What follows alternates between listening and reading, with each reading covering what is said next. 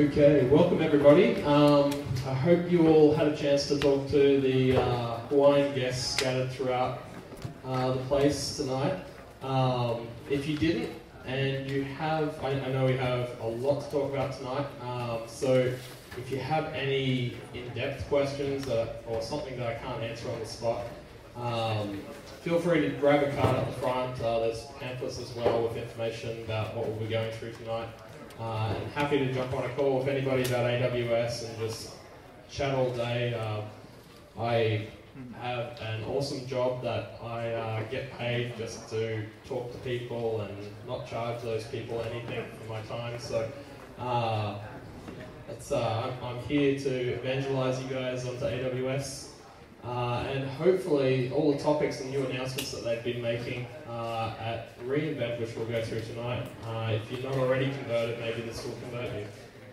Uh, just, just to raise your hands quickly, who's already using AWS? Who's using it in production? Okay, so we've got about half, half using. Who's, um, who's using a different cloud provider and interested in what's going on in AWS? Who's not willing to admit that? okay. Um, so just a quick uh, cap over the agenda for tonight. So we'll do uh, some quick introductions. We'll uh, talk about our sponsors, who obviously we need to uh, uh, recognize them because they've put on such a great feed tonight and uh, made all this possible. all the equipment that you see and everything that's provided is due to their uh, sponsorship. So, uh, so we need to make sure that we're uh, buying their products. Uh, so, and uh, then, then we'll just do a cloud recap. So I know the focus tonight is AWS, but the whole idea of uh, doing the Pug group is around just having a look at what else is happening in the other clouds out there as well. Obviously, it's not an in-depth look. We'd be here all night just having a look at everything that's announced each month. Uh, but just a quick cloud recap there. And then we'll get into the meat of the night. So we'll start talking about um, what, all the announcements that happened at reInvent. Uh, there's some that I will uh, concentrate on, others that I'll skim over due to other events in the local area that have already uh, touched on those topics. But feel free at any time, just raise your hand. I'll try my best to answer any questions. Obviously, these things are new, so we're all learning together. Uh, but uh, I'd be interested in anybody as well, uh, if you want to let us know of uh, your experiences, if you've already been playing around with some of the preview or beta uh, pieces in AWS. And then just finally, lightning talks. Uh, great opportunity there, like I was saying, to tell us about your experiences with this new stuff, but also if you've got something that you've been doing in AWS, you want to grab the floor, three to five minutes, and tell us about your new SaaS application that makes life easier in AWS or uh, that automatically parks your Tesla car, then uh, let us know. So, quick introduction to Pug. Um, we are amalgamated with some other uh, user groups as well, um, depending on the topics for the night.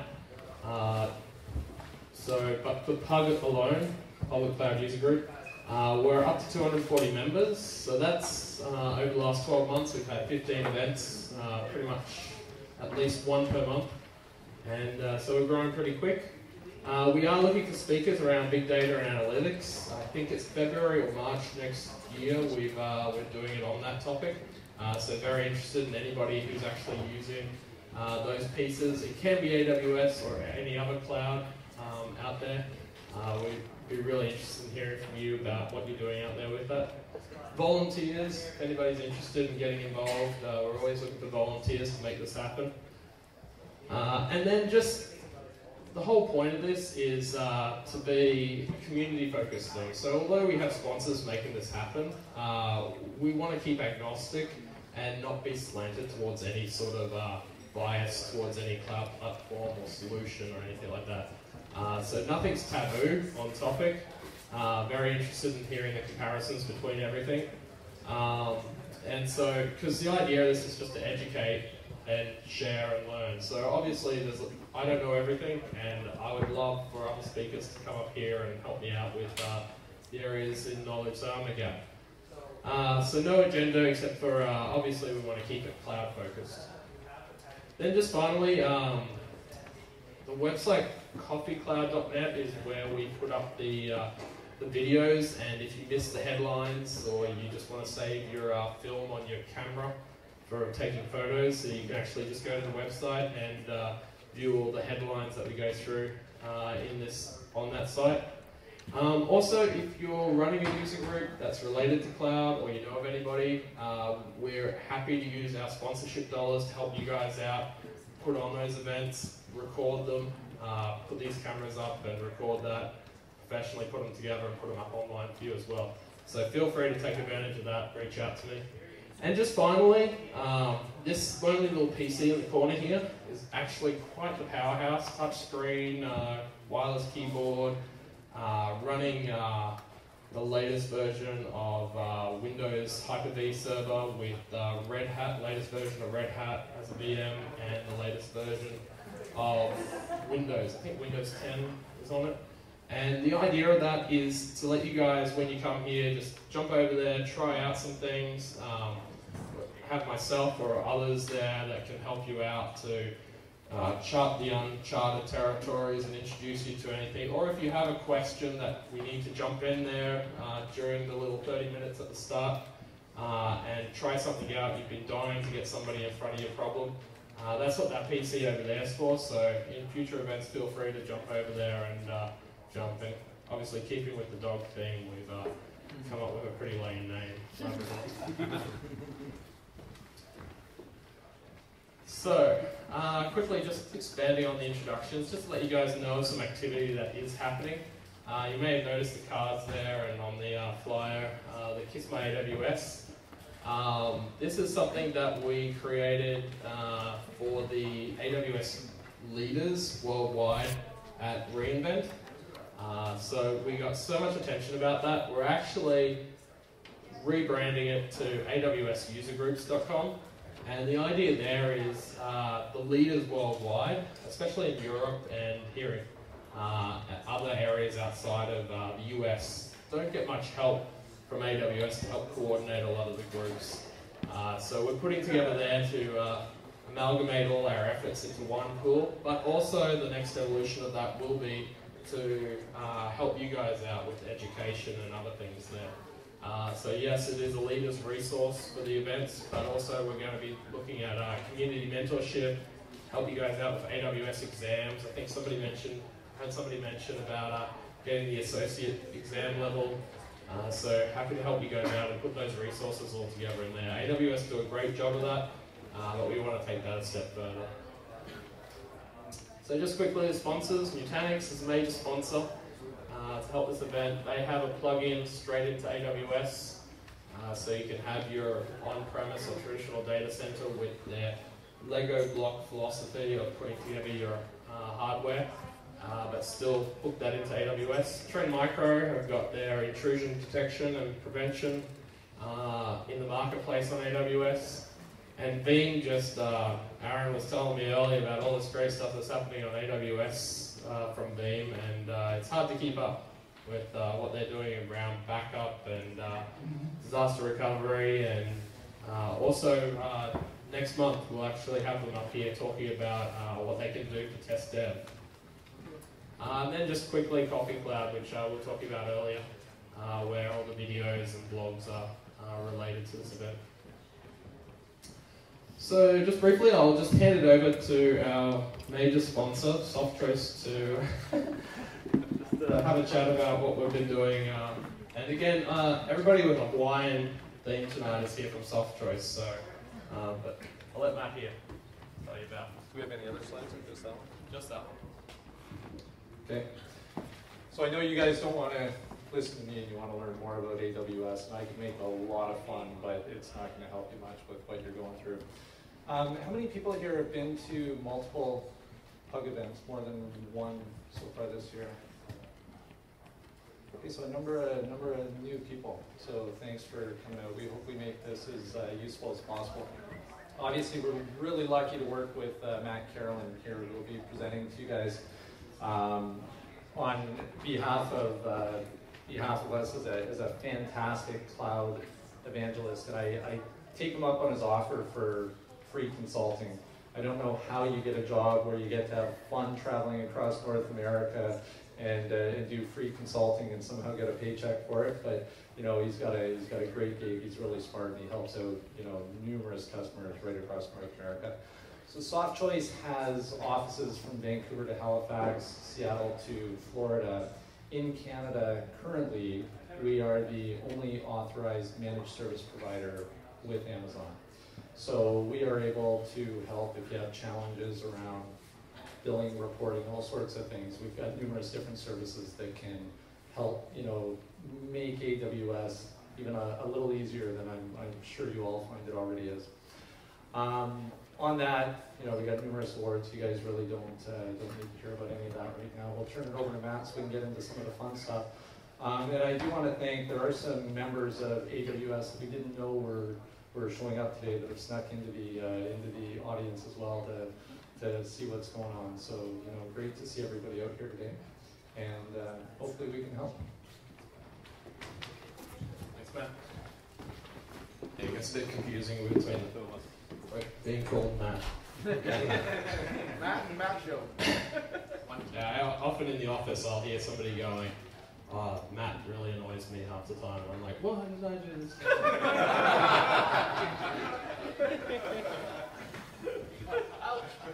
so, and just finally, um, this venue, uh, obviously, uh, we couldn't have this in this large of crowd uh, without CodeCore uh, donating the space to us. So, uh, for those that are interested in uh, education around coding, uh, let me know and I'll put you in touch with the right people. Uh, but but yeah, this is a great venue that they've let us have and interrupt and annoy their students while I blast away on this megaphone. So just to recap on what's been happening with the cloud. Uh, so VMware's vCloud Air. Uh, it, it, if you've been living under a rock, you may not have heard about this in the technology space, but Dell actually bought EMC. Um, silly me didn't realize at the time that that's is such a big deal with, uh, I think anyway, the VMware bit is the bigger piece that got me interested. Um, that, that changes a lot. Dell already have uh, a tool out there that does integrate within a lot of different clouds out there, uh, and this will actually, I don't know whether it will change that to be biased towards VMware, but obviously most data centers anyway already use VMware, so uh, that's a big move there from them. Uh, Google uh, has teamed up there with uh, to improve their uh, CDN network. Uh, obviously, I must say Cloudflare is one of the ones, and the name escapes me. but there's always three that I always hear about: Amazon, Cloudflare, and, and anyway. Uh, so it's interesting to see the Cloudflares in there with uh, level 3, which many of you know. Uh, the other two in the middle I haven't really heard of much before, uh, but some people probably scoff at me for not knowing them. Uh, but this goes to show that Google is doing the um, teaming up approach, which is interesting also because they teamed up with VMware to do their storage piece just earlier this year. Um, Microsoft Azure had a few announcements. Obviously, Amazon had a lot more, but obviously we're going to go through them tonight. Uh, but uh, Microsoft Azure has got a uh, resource health check. So a bit like um, CloudWatch with AWS, in that uh, it's going to do the health monitoring, but it's also going to have uh, actionable guidelines that will guidance to help you remediate the issues that it identifies. then they have their new uh, Data Lake Analytics and Data Lake Store uh, in preview that's been launched, and uh, three new regions in India, which I will claim to saying last year I thought AWS was going to announce India. Uh, so I'm very surprised that uh, Amazon's getting ahead of them there because I think there's a lot of opportunity there if they can keep the power on. Uh, so, uh, something just a little bit left of field I thought was interesting though, just to uh, let you guys know there's a new cloud phone from a new startup company called Net- NextBits. Um, not totally sure if it's really a cloud phone when uh, it uses your local storage first, and only when it starts running out of storage does it start offloading to the cloud. Uh, but then again, nobody's really used it yet, so the details aren't there. But it's interesting to see. I, think it's a bit like uh, the philosophy with Google's Chromebook, where uh, we're trying to do everything in the cloud, and, and uh, hopefully that day will come soon where uh, Rogers, Bell, and Telus and others are going to give us affordable pricing plans so that we can be connected all the time. Uh, and then just finally, Amazon AWS reInvent, which we'll be going through tonight. So, um, I don't know why I put an introduction to myself, but uh, just around Softchoice, I guess. Matt was mentioning that we're, I believe we're still the only certified managed service partner of AWS, and uh, took a nice little photo there at the uh, reInvent uh, of one of the slides that came up there. So this is worldwide, every single managed service partner uh, that's been certified. So I've been doing this since uh, 2010 on AWS, so that's why people must uh, trust me with this stuff. So, Internet as a Service. Uh, so this is a great bit there. I, believe, actually, I, I, didn't put this in, but I think it's still in preview or coming soon. Um, but the idea of the Internet as a Service is uh, it's going to be a hub where uh, obviously, a lot of uh, monitoring devices and things are probably going to be out there if you're into this field.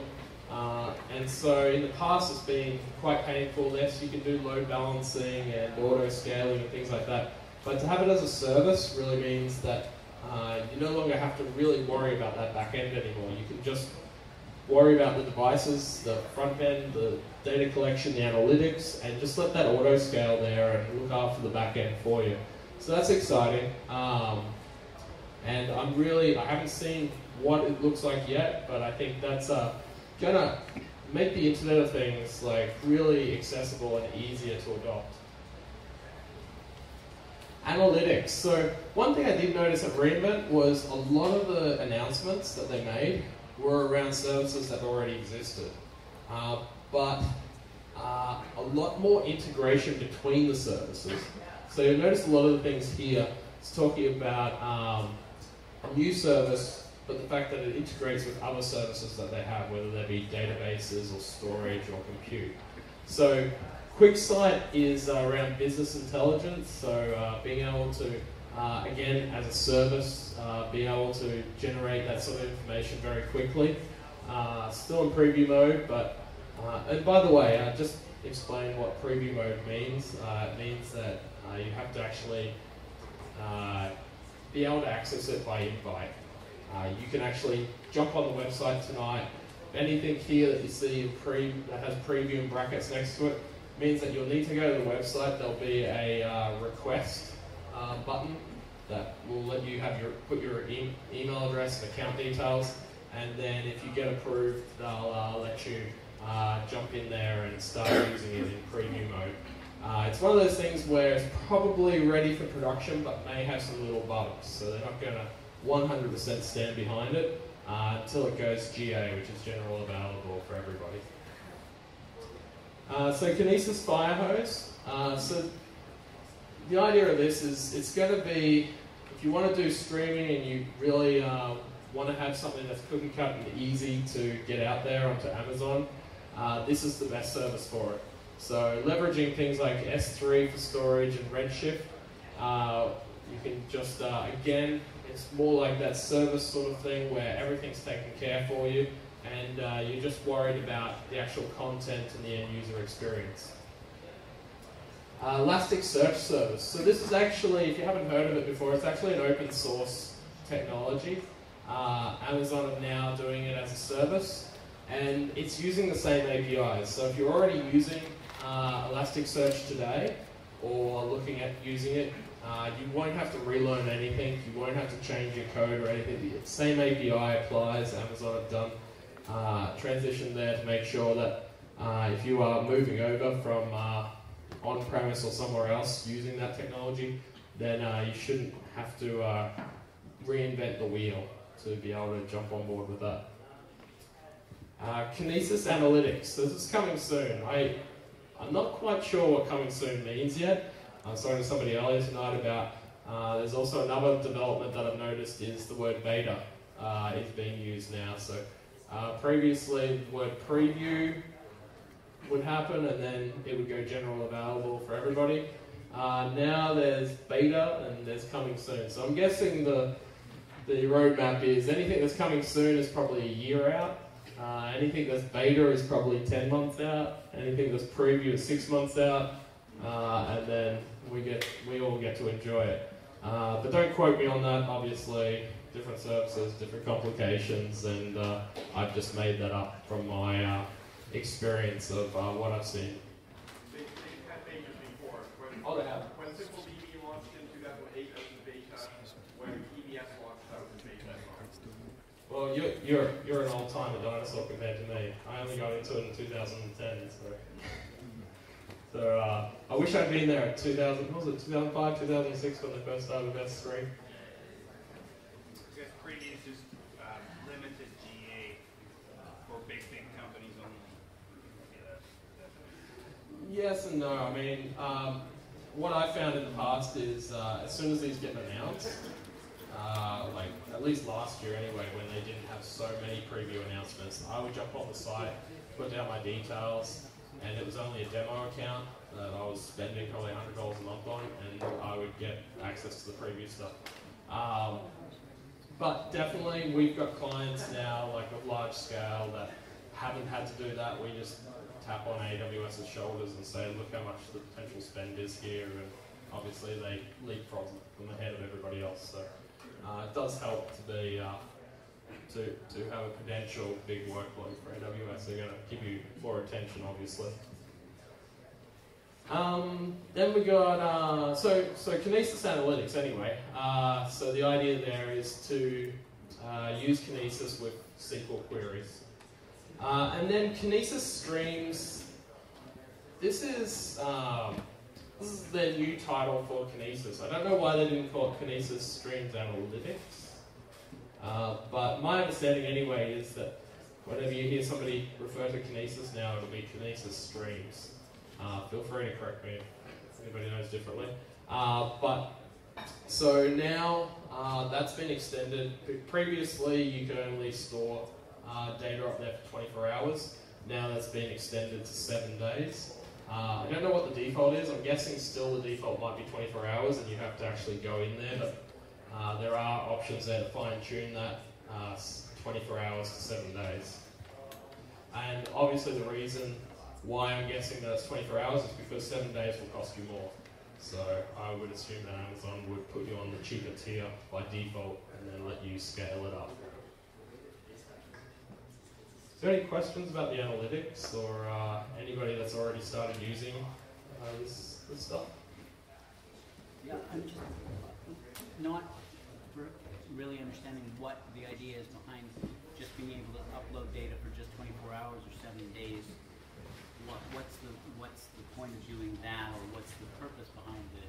Yeah, sure. So the question is, uh, why would you want to put your data up there for 24 hours? So I guess um, Amazon are always using uh, Major League Baseball as a great example. Uh, I don't know if they're using Kinesis or anything like that, but a lot of the stuff that they're doing is uh, real-time data analytics that they're processing and wanting immediately while the uh, while the game is being played. Uh, so the idea there is that it's going to pump the numbers in there, crunch it, pop out a result, and then you're going to use that static result, uh, load it somewhere else. Uh, this is more like a temporary buffer memory where you're going to store uh, the number crunching and things like that, pump it out, and then uh, hopefully. Uh, I guess their original theory was you wouldn't need it longer than 24 hours, but I guess there's some cases where you might want to tap on that more times or evolve, like take it the next step further uh, later on or something like that. So that's that's why they've uh, evolved that, and that's why it would be only for temporary pieces. Databases. Uh, so a few um, exciting announcements here. Uh, a lot of my work is around databases, so Uh, anytime I uh, hear anything about this topic, new announcements, I get weak in the knees. Uh, so the migration service is quite interesting. So um, this is a basically if you have a database that you have on premise in a data center or some other cloud, and you want to migrate it over to Amazon. Now, if it's like for like, you're probably going to find that it gets in there and everything's fine. So Oracle to Oracle, um, MySQL or Microsoft SQL, uh, those sort of services are going to jump over there. But if you have a mix match, say you've got Microsoft uh, SQL and you're wanting to convert it to MySQL, for instance, this also allows you to do that. Now, if you have something a bit more far-fetched, such as uh, Oracle to MySQL, uh, the, there may be still about 30% of the work left to do, but it's going to identify those issues. So it's going to point out in the code which pieces that you need to fix. Uh, but I think this is a great thing. Like the the um, replication, like the uh, migration for Oracle to Oracle or or same database to same database. Uh, they actually say that they'll actually keep you up to up 100%. Uh, so there's a bit of uh, flicking between services there. The obviously the uh, migration service where you've got a mixed match of uh, database types. There's obviously going to be downtime there where the potential of well, it's pretty much a guarantee that it's not going to be 100% converted correctly. Uh, but they're going to do a lot of that work, about 70% of the work uh, to 90% was what they were saying at reInvent. Uh, so, and just leave you with some pieces that they've identified which they can't obviously find a uh, good match, or maybe the match has different choices where if they were to assume the choice for you, then it could create problems for you. So they're just going to highlight that for you, and then you can jump in there and fix that up. So obviously, that, those sort of that and that was another thing I noticed throughout a lot of these announcements was uh, Amazon making, are really concentrating on making it easier for us to move from uh, from place to place. So obviously the joke is that they're not going to help you to move out, uh, but if we're thinking about on-premise or traditional data centers or another cloud provider and moving into Amazon, they're actually doing a lot of these services to help us make that migration easier. Uh, RDS for MariaDB. Thought there was going to be an applause. so we've got our Amazon guys up the front. We've got uh, apparently the one person that uh, made it happen. I don't know why they didn't get you up there on stage in front of everybody and uh, throw flowers. Uh, Maybe I was so drunk at that time. It was the biggest. Oh, yeah. You guys get party while we have to learn. Um, so yeah, so those who aren't familiar with RDS, RDS is uh, I, like to refer to it as platform as a service, but it's uh, or others refer to it as database as a service. Uh, so there's uh, Postgres, Microsoft SQL, MySQL, Oracle, and now MariaDB. I don't think I left out one. No, no. Um, and the idea there is you don't have to run a whole virtual machine. So um, there's no overhead of Linux or Windows sitting there. You just got the database and that's all you have to worry about. Uh, and then you can uh, get into the settings there and have your backup managed for you as well, and your auto scaling and your um, uh, load balancing all looked after for you. Uh, so those those things are all taken care of. Whereas traditionally, if you're running a database on a uh, virtual machine, uh, those sort of things you would have to actually manage yourself uh, and get in there and worry about any uh, uh issues with disk space and others. Uh, so that's a great addition. Can't wait to see. I'd actually forgotten that um, there could be more databases. I, am now going to, when I get a free moment, I'm going to look over the databases for my wish list and start making some bets on which ones that they bring into RDS next. Actually, I should I should try to pressure you guys into giving me some hints. Uh, and then Aurora is now available in Tokyo. Uh, so uh, Aurora is something that I was really excited about 12 months ago when Amazon announced. Um, another big thing that came out of this was Aurora actually went general available just before reInvent. Uh, so those who aren't familiar with Aurora, the idea is that it should be, I think, I believe it's 10 times faster and uh, more cost effective um, than uh, MySQL database.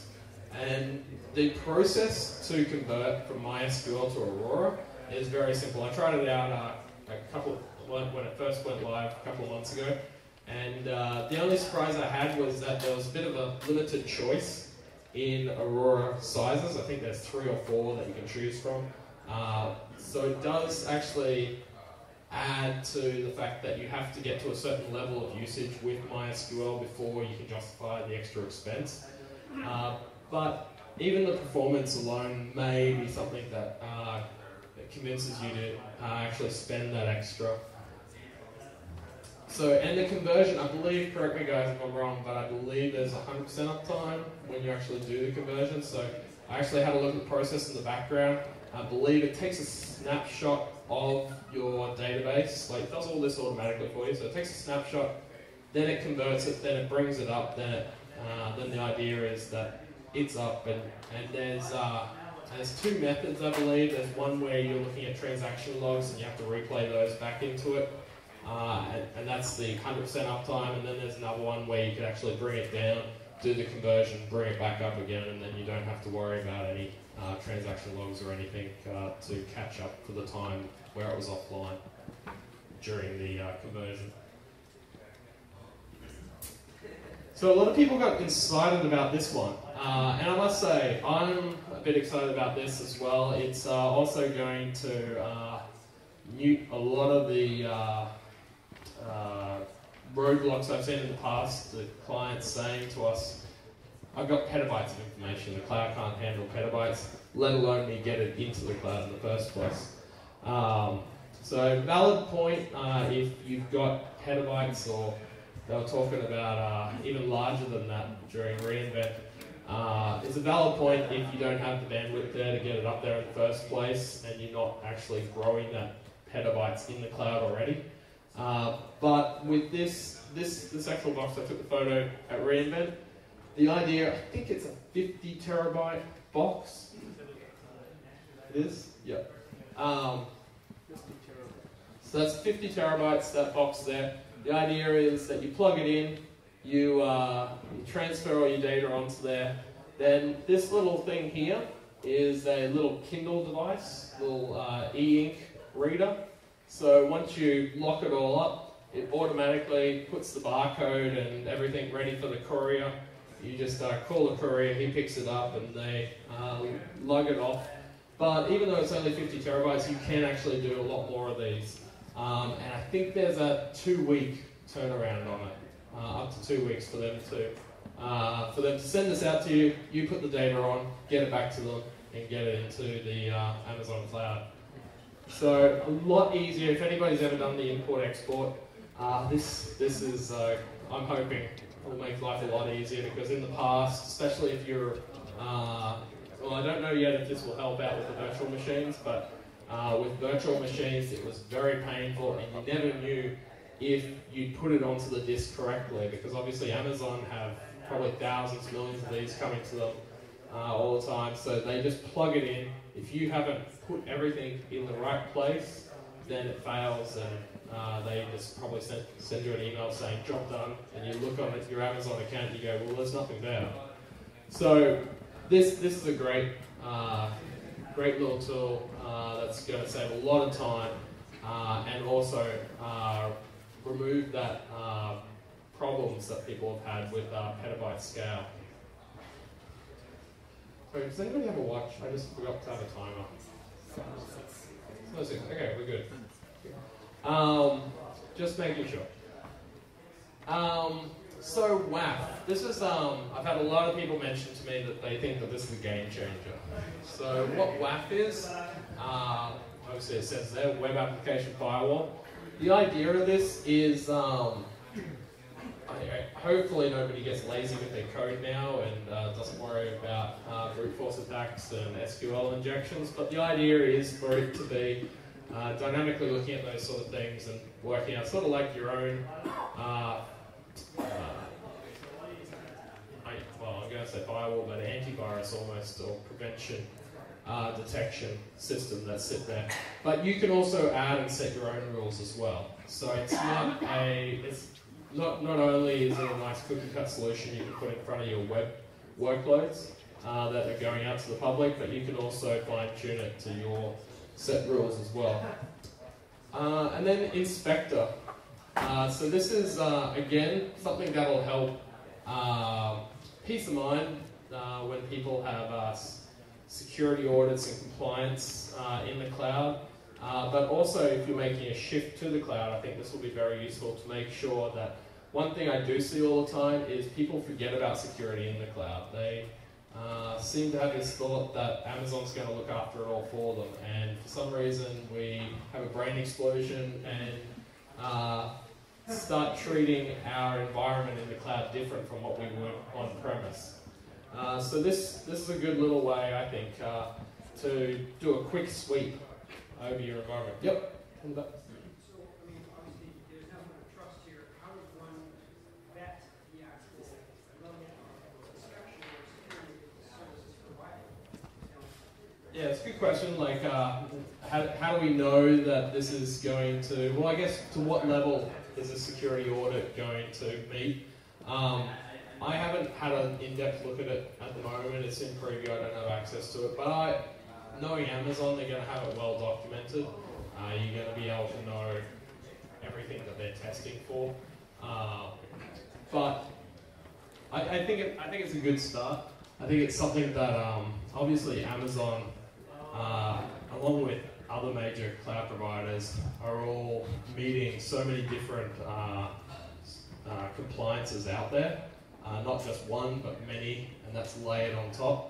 Uh, so I'm sure they're already aware of all the major compliances out there and are trying to make sure that this meets those sort of standards and makes it easier for when you have one of those audits happening, that at least the security aspect is able to be met and uh, you can produce a report very quickly to those uh, people. Uh, so EC2 dedicated hosts. Uh, I, I'm, I'm excited about this. There's a lot of implications here with dedicated hosts. Um, it is coming soon, uh, so hopefully that doesn't mean it's too far away. Uh, but I'll skip over workspaces for a second. But uh, compliance, again, stems on from the security audit. Uh, a lot, lot of discussions, a lot of my talks with clients are normally around security, compliance, and bandwidth. Uh, compliance, a lot of pe- a lot of people, especially government entities, have compliance needs where they need to make sure that nobody else is sharing that hardware. And it's one of the big myths about cloud out there is the fact that you are uh, somebody else could hack into your hard drive because they're using the same disk or something. Amazon has already got uh, dedicated VMs, but this takes it that next level uh, where you're getting dedicated hosts. So you're getting a dedicated hardware um, so that you can meet those stricter compliance levels. Uh, also, it helps out with licensing. Some licensing models are still old school method where they believe that you own the hardware and therefore the licensing is around uh, what is in there. Uh, Microsoft M- MSDN licensing, for example, is one where you have to actually own the hardware technically uh, to be running it. Uh, and they also have a rule where uh, that hardware can't change within 90 days. So if you're running a virtual machine on Amazon, running the MSDN Microsoft licensing there, and you restart that server, that's that hardware might not be the same hardware when that VM starts back up again. Therefore, you're voiding your licensing. So this helps out there with that. And then finally, just going back up to the top of workspaces. Um, I think this is going to be uh, great for workspaces. There are some things that they've hinted around uh, being able to actually uh, have dedicated hosts, and uh, and this may come about. Uh, a lot of things that have been announced and already in the works are, that are on the wish list for workspaces seem like they may actually come true now, uh, such as. Uh, I'm just making sure I don't breach NDA, but uh, but yeah, there's exciting stuff there anyway around workspaces. I think that's as much as I can say. Uh, I get excited sometimes. Um, but in saying that, Workspaces itself, if nobody knows, it's uh, Amazon's VDI as a service. Uh, so as little as $25 a month per user, you can have a VDI workspace. And I must say, when they when they released it last year, and I was using a preview of that, I was very disappointed in it. But it's amazing how much has evolved in the last 12 months. The fact that you can now uh, uh, cookie cut and do golden image application deployments to the workspaces and manage the environments in hundreds of users very easily. Uh, so, so that's great. I think they are still missing the ball on uh, uh, shared file access. Uh, Amazon still has the theory that everybody wants their own My Documents style uh, folder. Uh, I do think that that is going to change in the future, hopefully, where we can all, we're all, I mean, in enterprise anyway, we're all used to having that Mac drive that everybody accesses. Uh, so something similar along those lines, instead of having our own siloed off storage, uh, is, I think, the only missing key from workspaces at the moment. Uh, but in saying that, we've done a lot of solutions for clients that have worked around that and got them their Mac drive or their uh, central uh, data storage repository. Uh, EC2, EC2 container registry. So again, something that's coming soon, but this is the next evolution to, for those that aren't aware, um, Amazon have already got their EC2 uh, container service. This has registry and support for Docker. Uh, the support for Docker, I believe, was already there, uh, but this is actually adding uh, on top of that. Uh, EC2 X1 instances, for anybody here who spends a lot of money on large instances, I guess this is your new Ferrari that you've been waiting for to upgrade to. Uh, EC2 container services, oh, again, yep, more uh, support for Docker.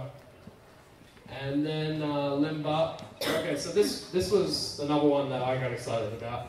Uh, so for those that don't know, Lim, Lambda is a uh, service that uh, before it was around, everybody was uh, creating Linux boxes to do cron jobs. And uh, to just sit there and, uh, and all it did all day was manage and do auto cron jobs there. So Lambda was good, but this was the bit I got really excited about. It was funny five seconds before they announced it, I was saying to my colleague next to me, I was saying, you know what would be really good though scheduling. And uh, that's exactly what they got now. Um, there's uh, Python as well, which got big applause in the uh, in the room when they announced that, and uh, versioning. So, but the scheduling bit, I felt like that was still the big beats why I wasn't using Lambda myself and still using the old school way of doing things. And obviously now uh, that's that's going to change. It's Lambda. I knew I was pronouncing that. that's why I was hesitating. Like, I like the Hawaiian version. It's Lambda? Is that how it's Lambda. Lambada. Or the Sounds math, like the dance. math thing. Greek letters. So just quickly around mobile services. So um, uh, we were chatting about this earlier. Uh, so this might be something of interest to anybody who's an iOS developer, Android developer, or well, let's we say BlackBerry or Windows. Uh, so this is in beta, uh, but my understanding is that it's going to be very similar to Microsoft Azure's uh, mobile web service that they have, where the idea is that you do your one code, throw it in, and uh, it'll be able to manage everything for you, uh, both on iOS and Android. Uh, I don't know about BlackBerry and Windows and that. I haven't looked into it enough. Uh, but obviously, uh, iOS and Android are going to be looked after out of the gate. Um, and then API, it, it was funny how uh, there was a lot of announcements about Tokyo.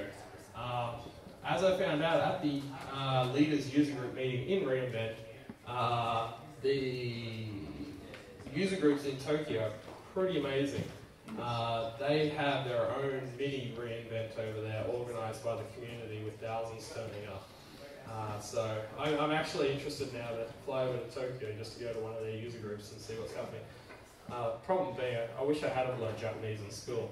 Uh, I'll help you. you'll come over, you'll be my translator? Why not? Uh, just, I'll just find somebody to pay for our flights. um, so I think we're coming to the end now. Uh, config rules is in preview. Uh, the idea of this, it is very limited this at the moment, but the idea is that you can set rules in place to make sure that everybody who's using AWS within your environment, so other people that haven't listened to uh, or, or actually don't care about compliance and it's a pain and you always find whenever you do an audit, people in the last 12 months have circumvented the rules and are cheating. Uh, so you can put rules in place to make sure that they can't do those sort of things. At the moment, there is uh, a small list of things that you can actually set, uh, but they are going to grow that. They are looking for feedback around things that they should be adding to this list of compliance. And uh, it's really about restricting what people can do to make sure that you don't go outside of those compliance rules. And also on top of that, you've got the audit trail. So you can actually look back and see. So it's not going to, I believe it's not going to actually stop people from doing something, but it'll trigger an alert to let you know that it's now out of compliance and let you know who did it, when they did it, what they did to actually bring it out of compliance. Um, then CloudWatch dashboards. So this is, uh, you can uh, reuse uh, uh, different graphs around CloudWatch. For those that don't know, CloudWatch is around the monitoring bit of Amazon. So, what was the last slide? Okay, great. I would like to quickly introduce the AWS fellas. Um, already forgotten your name. Shandor? Shandor. Okay. I can't say Lambada. Uh, uh, but I'd like to introduce him up from the Amazon team, uh, just to add a little bit extra uh, that I probably missed out. Thank you. Thank you, Matt. Uh, I only heard about this a bit last week, so I didn't to give a talk. Um, my name is Shandor Maurice. I'm a software development manager with Amazon Web Services. Uh, I am part of the team that launched Amazon Aurora. Uh, we went general available uh, back in July, and since then we've set the record for fastest growing service in AWS history. So I am here with two of the developers that helped bring you Aurora. Alexi sitting right there, and behind him Jagdeep. Uh, you know, I, I, I'm really glad to be here tonight because I love the opportunity to talk to AWS customers, whether current or prospective. So uh, either after I give a little talk or later in the evening, you're all welcome to come and talk to any one of the three of us to learn more about what we do at Amazon Web Services. And the three of us, we're all based here in Vancouver. Um, Amazon Aurora, I, it, it's hard for me to not give sound like I'm giving a sales pitch when I talk about it, but it's something that I'm really, really excited and passionate about. Um, I'm going to talk about it very quickly and tell you uh, five things that really set it apart. Um, the first one is scalability. So one of the problems with relational databases is when you create one, you have to say, this is the amount of storage space I'm going to allocate. And if you want to allocate more storage space when you run out, you have to basically take down the database. Well, with Aurora, you don't have to say, here's the amount of storage space I want. We automatically provision 10 gigabytes, and as you start approaching your storage capacity, we automatically add more for you behind the scenes, all the way up to 64 terabytes with no downtime, no performance degradation. You don't even have to know that we're adding more space. So that's, uh, that's the scalability story.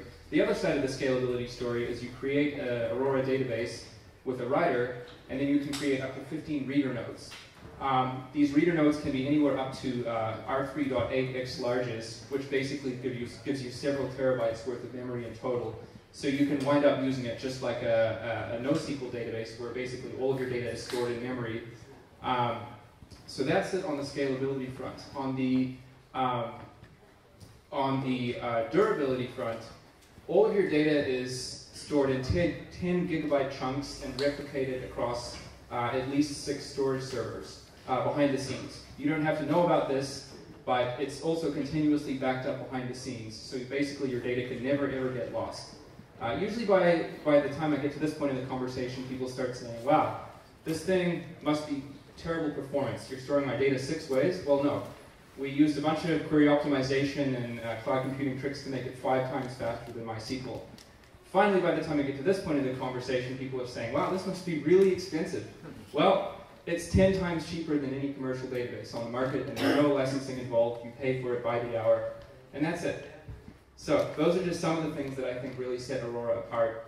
Um, I grabbed a bunch of $50 Amazon Aurora credits. If anybody wants to take it for a test drive, come talk to me or Alexi or Jagdeep about that.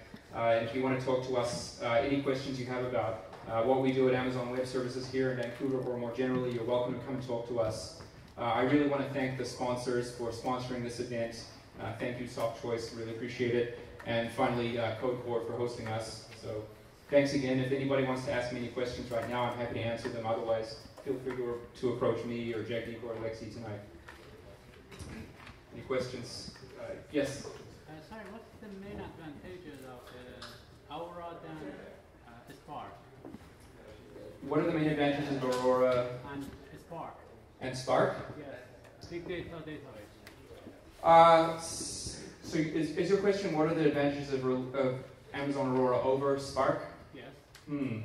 Unfortunately, I don't work a lot with the Spark team. I'm not in the best position to answer that for you. If you like, come and approach, approach me afterwards, and I can put you in touch with the people that can answer your question.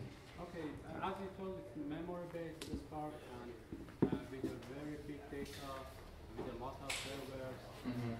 100 uh, faster than Hadoop, Right, and uh, it's open source right. uh, and easy to access. It's my question because uh, I didn't uh, read about uh, Amazon Aura and uh, Right. I think Spark has a very different set of use cases than what we're going after for Amazon Aurora.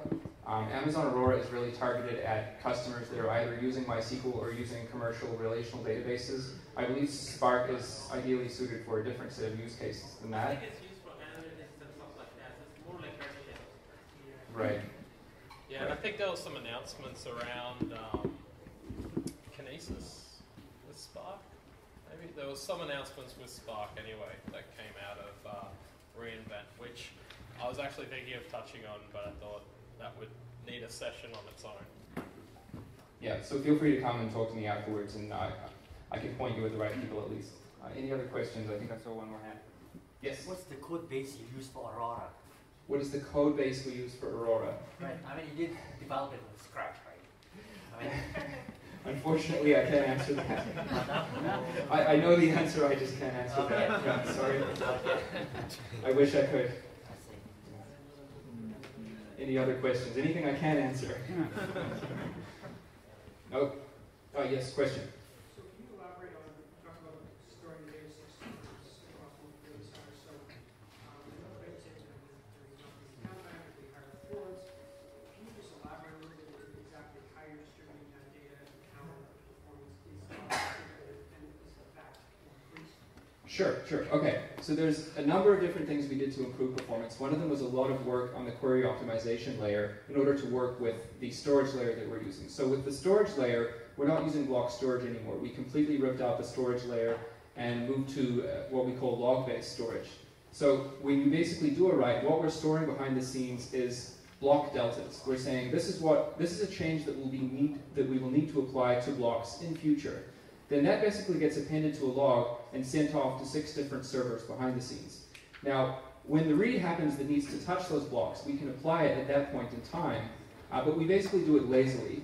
So, and because we're doing this behind the scenes and we're actually distributing your data across hundreds of servers in 10, uh, 10 gigabyte chunks, we can do a lot of it highly parallelized. So where Aurora really, really excels is on highly parallelized workloads, where you have a very large database, you're reading from many, many different uh, tables in parallel. Um, so those are just a couple of things that make it much faster. Um, but I'd be happy to get further into the details with you about that if you want to come and talk to me afterwards. There's a there's a lot of different things we did to make it faster, and uh, you know I, I could talk all evening about it, but I don't want to do that to everyone here. So come and talk to me afterwards. Question? Uh, I could extend that question about uh, compliance. Yes. So it's like two data centers and another continent, uh, three copies in each, or, or uh, is there a way to control if you're in Canada only, one data center there? or- So right, a good question. So Amazon has what we call regions. Uh, so for example, US West 2 or Portland is a region that actually has multiple data centers behind it. So we refer to them as availability zones. Now, an availability zone essentially is a physical data center. It's a physical building that's sitting somewhere. And one of the reasons why we don't have Aurora in all AWS regions is because Aurora requires at least three availability zones. And that's not available currently in every region. That's something we're working to add. Uh, but in order to give the kind of durability guarantees that we give, we need at least three availability zones because we basically want to guarantee that unless the, the unless the whole area gets hit by a tidal wave, you're never going to lose your data. But I think your question relating to compliance was along the lines of how do you make sure that you're only in one physical uh, locale. So if, if, for example, you only want to store your data in one particular region, we're not going to replicate your data outside of that region unless you specifically ask us to. So I'm not 100% sure if I'm answering your question, but... Um, I think they're just extending, I thought, Yep. what you might have been asking. okay. Okay. Are there any other questions? Nope. Nothing official about Canada? I can't say anything about that, I'm sorry. All right. Thank you, Matt. I'm going to turn it back over to you. I'll just cough and say 2016. Hopeful. okay. So, just wrapping up, uh, the next Pug. Um, so the next Pug will be on the 1st of December. So not our usual trip, uh, not our usual Wednesday, just because of uh, scheduling conflict with the venue here at CodeCore, but uh, Tuesday just as good. Uh, six o'clock as usual. Here, same bat channel, same bat place. Uh, the topic will be on DevOps for cloud. So uh, I, I think it's a good way to wrap up the year. Uh, I think probably a lot of us here are in that dev space. Um, we'll also be having a guest speaker here from Veeam, one of our sponsors. I will make sure that it's not a sales pitch, that it's a technical talk. Um, so, but they have uh, something to talk to us about uh, on the DevOps and test dev uh, space. So, and then also uh, we'll be getting in. Uh, I know it was a little bit of a disaster last time, but we've learned from our lessons, and we're going to have the big clock in again and have a race between uh, Microsoft Azure and Amazon AWS to build a workload up there. This time we are going to be, we're, we're going to let the Microsoft and Amazon guys uh, do their research and do everything they can to be faster than each other, but make sure that they have nothing pre-built beforehand. So no pre-built scripts or anything. It has to be a stock standard uh, environment. Uh, so that'll be an interesting race to see. I'm sure it'll be only a few seconds. So we might have to record it and play it back in slow motion. Um, and then we've also got a prize pack that we've put together uh, from our sponsors uh, for the best tweet in the next month about the next event. Uh, so that prize pack will include a mug, a t-shirt, uh, Bose headphone, uh, so it's not some sort of cheap prize, and a Jawbone Bluetooth speaker box. So, um, so it's not a Sonos, but it's very close. Um, and just make sure you mention the uh, hashtag PugCloud. Uh, that way we'll be able to uh, have a look at the end of the month of all the uh, funny, amusing, and creative uh, tweets that you guys have been putting out there about the next event. Uh, so, uh, December will be our last event until February. Uh, every year we skip January because uh, this, obviously the first week of the year we're all going to be hungover, obviously. Uh, or in Hawaii. Could be in Hawaii? I don't know. I don't know. Is Hawaii really cold? December? uh, I'm, I'm used to Australia where Christmas you're sweating and you're going to the beach. So um, hopefully we have snow here this year so I can go snowboarding. Uh, so again, reminder, we have the uh, voting on the Pug Group website for topics. So let us know what topics. We've actually added uh, big data and analytics to next year's topics due to the votes that have been cast up there already. Uh, contact us if you want to do lightning talks, if you want to volunteer, if you want to actually sponsor a event or a whole year of events. Uh, the video for this event and past events, we're a little bit behind on getting the videos up there, but we will get that done uh, in short order and get them up on coffeecloud.net. And finally, again, like, uh, let us know what you guys want to hear and see because this is a community event. We've got the sponsors there wanting to preach to us, but we hold them back to make sure that we're actually delivering something of use to you guys, and that's not a sales pitch. So let us know what you guys want to hear. Uh, we have got a whole roadmap for next year already planned out, but that can change, shaped on the feedback that we get from you guys. And just finally, they've all probably disappeared. Oh, there's Pete down the back there, and that uh, Terrence, Brian, Bobby, uh, David. Okay, they're all around. Okay. I apologize. Um, but yeah, I just wanted to thank the Softchoice team for coming out here. It makes sure that I don't have a big uh, sweaty back by the by the start of uh, proceedings tonight. They uh, helped me run around and get all this food together on the recording gear and uh, everything like that. So uh, I want to thank them. And yeah.